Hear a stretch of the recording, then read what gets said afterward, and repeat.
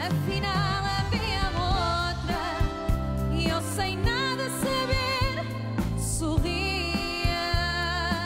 A Mónica é irrepreensível. Não ter medo nenhum de arriscar.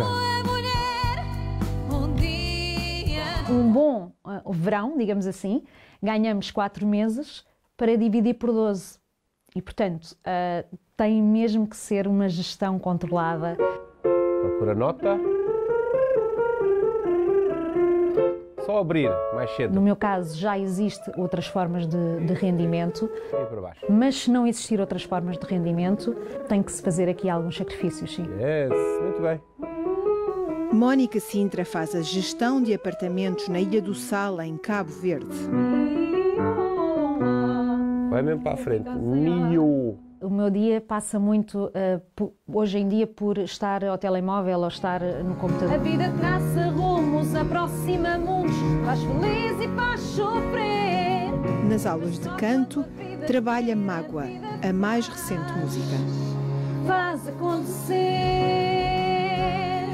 Eu tenho aulas de canto porque acho que é importante nós trabalharmos o, ah, aquilo com que trabalhamos, com que, neste caso, é as cordas vocais. Vas à Javés, é Jevis e Gijovo. Não para. Vas à Javés, é Jevis e Gibis, ovos ovo. Vá, vá. Bora. Vas à Javés, é Jevis e Zibos, ovo. Tu, tu gostas é de companhia. Quero ter uma performance, principalmente no verão, digna em todos os concertos. Bravo. Sou muito responsável, sou muito chata. Ah, para terem a noção, estão 40 graus e ninguém leva o ar-condicionado ligado. Vamos todos ah, sem falar uns com os outros porque as janelas vão abertas. Oh, atenta no M. Ma. A importância da formação tem a ver com a longevidade e com a saúde vocal. Se tivesse sido igual ao, ao A, eu tinha ouvido. É um, um instrumento como outro qualquer. Quer dizer, um pianista toca todos os dias e é normal. E o cantor trabalha quando vai cantar. Isso não é nada normal. Portanto, tem que- temos que ir aos treinos antes de ir aos jogos. Eu aceitei. Mónica Sintra vai a treinos desde criança e nunca teve dúvidas quanto ao futuro profissional. Segui a vida, pois tinha de ser. Eu sempre disse que queria ser cantora. Queria ser cantora e cabeleireira, cantora e advogada, cantora e jornalista. E, portanto, a minha mãe diz que eu, todos os, os anúncios que passavam na televisão, eu cantava.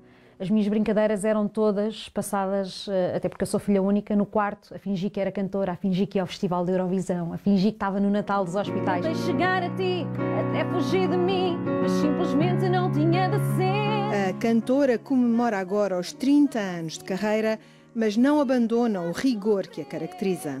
A partir de maio entro no meu modo ninja, que é como quem diz, tipo, não como gelados, não bebo refrigerantes, não faço uma série de coisas, portanto, sou a pessoa mais chata desta vida, mas ah, é a parte do ano que eu mais gosto e que mais sou feliz.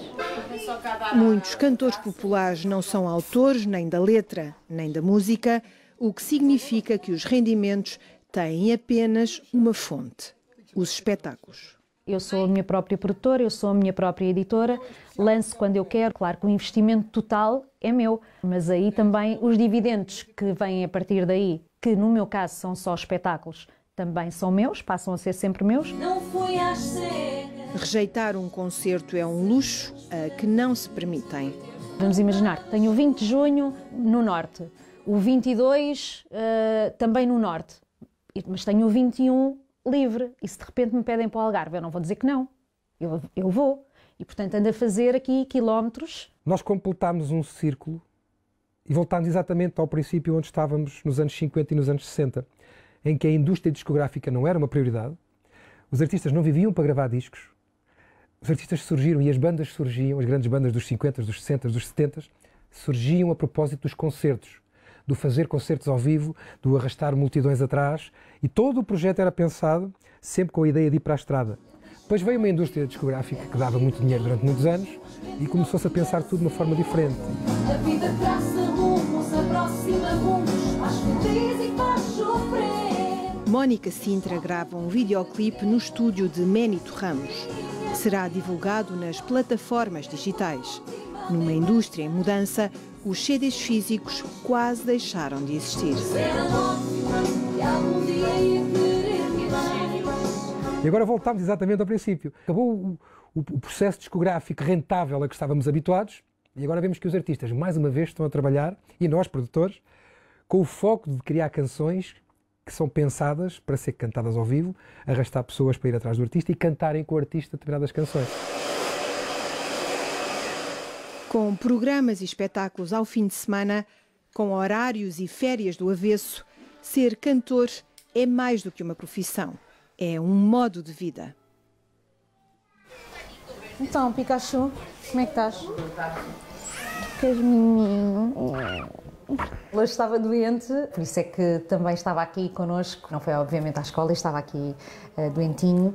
E, e, normalmente ele não vem. Acho que já pitou, não já? É. Vou, vou mandar para o avô tá dizer quanto? que 38. Duarte vai ao hospital com o avô, onde será diagnosticada amigdalite. Nos bastidores do programa de televisão, Mónica prepara-se com a dupla de bailarinas. A tour, obviamente, vai se chamar 30 anos. Eu não posso deixar uma equipa pendurada, não posso deixar o público, quando é um espetáculo, também à espera. E, portanto, aquilo que nós temos que fazer é, no fundo, representar uh, e fingir que, estamos, que está tudo bem, que estamos muito felizes quando estamos ansiosos para ir dar colo a alguém. A hora do espetáculo chegou. Os programas de televisão são importantes para os cantores, não nas receitas imediatas, mas na visibilidade e angariação de futuros concertos. O facto de ir à televisão hoje em dia, uh, os programas, alguns já são pagos. Uh, não todos, mas alguns já são pagos. Os programas pagam, sobretudo, despesas de deslocação. No palco do Cá por Casa, Mónica Sintra canta a música que lhe deu sucesso.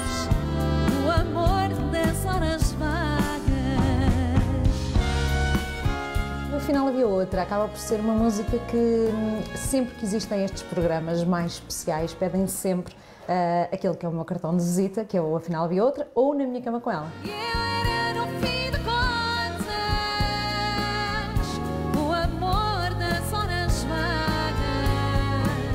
E eu não me farto porque de facto esta música simboliza o meu sonho, a realização do sonho.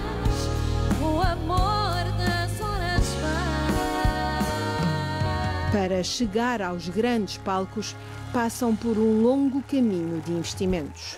Um dos meus sonhos, acho que vai ficar por concretizar, que é, era fazer um disco de duetos, e nós estamos num país muito preconceituoso. Há colegas com quem eu falo, gostava de cantar uma música contigo.